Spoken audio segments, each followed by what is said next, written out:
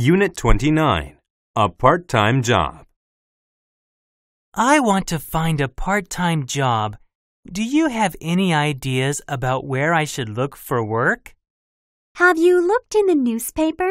There are lots of job advertisements in the newspaper. Yes, I have, but there were no jobs I was interested in. Did you search on the internet? Many companies put job advertisements on the internet. No, I haven't looked on the internet.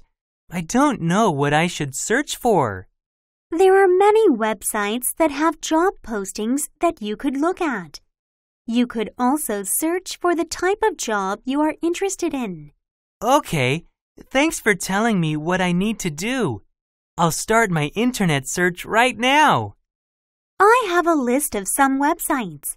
You could start looking at those first. That might save you some time. That would be very useful. Thanks.